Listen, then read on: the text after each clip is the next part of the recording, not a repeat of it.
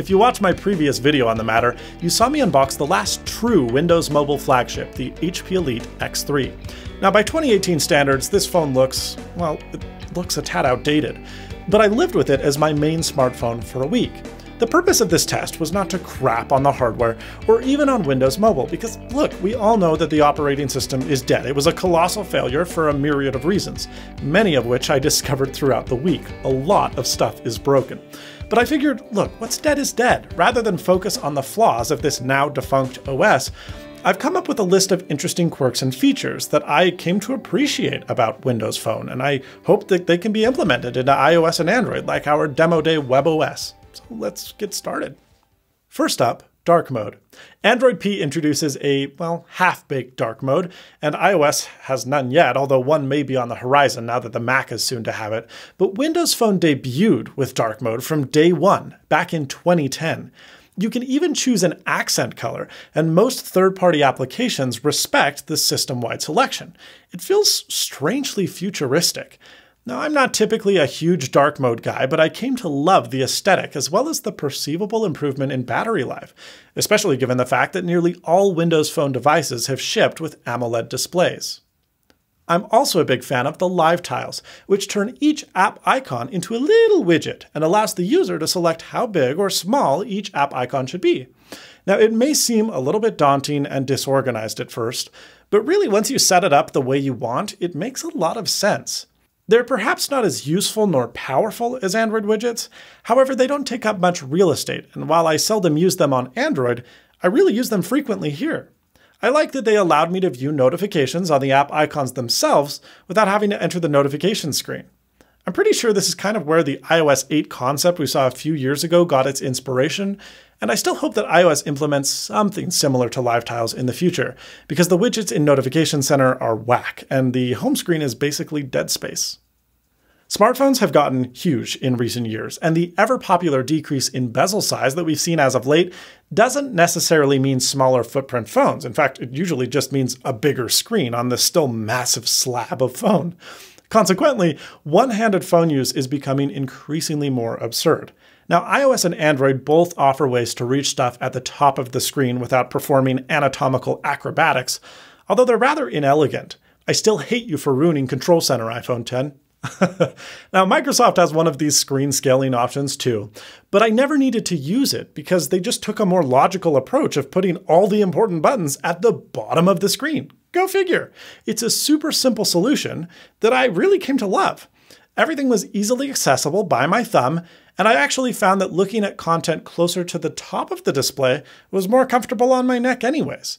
I feel like the iOS UI and Android to an extent, originally designed for these tiny 3.5 inch screens, has just been scaled up with total disregard to user accessibility and screen comfort as screen sizes get larger. I think Microsoft did a bang up job from which the other two giants could learn a thing or two. One of Windows Phone's greatest features was the People tab, which sadly is no longer supported by current builds of social apps, so I can't really demo it. But basically, it puts social first, all in one place. Facebook, Twitter, Skype, and more appeared in a unified timeline. Given that it stripped out ads and junk from people you didn't follow, it's understandable why social apps stopped supporting the feature. But man, I would kill to have a feature on a modern phone where you could look up the name of a friend and it'd show you their Facebook, Instagram, and Twitter activities summarized inside of a native app. Sounds awesome. In my 2010 video about the HTC Surround, is Windows Phone 7 better than Android? Is it better than iOS? In both instances, I'm going to have to say no, but this is version 1.0. It's brand new. Yes, I've been making YouTube videos forever. I raved about the keyboard in what was then Windows Phone 7. The key spacing just felt more logical, precise, and the autocorrect didn't make confusing mistakes like iOS 6 did. Even all these years later, I felt sad moving back to my iPhone 10 keyboard after a week with the HP Elite. The Windows 10 keyboard is just dead on. Very seldom would I make an error, and when I did, the autocorrect just fixed it without a fuss. I just felt faster on it. Like Palm's WebOS, Windows Phone had a lot of firsts that iOS and Android copied later on. Windows Phone Metro predated iOS 7 and Material Design. The Nokia Lumia 920 introduced live photos, a feature pretty much directly stolen by Apple for the iPhone 6s three years later. In Windows Phone 8.1 a few years ago, Microsoft allowed easy sharing of Wi Fi passwords to contacts, something added just last year in iOS 11. And I have no doubt that more ideas will come to iOS and Android in the coming years, with clear inspiration from the mobile platform that couldn't. Continued missteps from Microsoft, the lack of third party support, and failure to launch Project Astoria, the tool that was supposed to make Android app ports a piece of cake, ultimately led to the platform's slow and painful death as a very distant footnote on the smartphone sales charts. Windows Phone had a lot of great ideas and features, and I'm sad to see it go. But using one in 2018 probably isn't such a good idea. But do you know what is a good idea? Audible, my favorite place to go for an unmatched selection of audiobooks, original audio shows, comedy, news, and more. Go to audible.com slash snazzy or text snazzy to 500 500 to get started. Amazon Prime members can get Audible for $4.95 per month for the first three months. That's like getting three months for the price of one. And then after that is only $14.95 per month. This offer ends July 31st, 2018. I just kicked off my summer with the Audible book Bad Blood Secrets and Lies in a Silicon Valley Startup by John Carreyrou, which talks about the insane corporate fraud behind the biotech company Theranos and its CEO Elizabeth Holmes.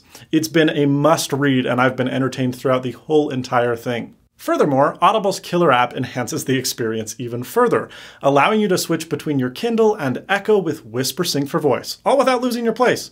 It's a perfect sidekick for both fun summer activities and, well, I guess the morning commute. Get reading again with Audible at audible.com slash snazzy or text snazzy to 500 500 today. If you enjoyed the video, please hit the like button. If you didn't, well, that other button seems to work okay too.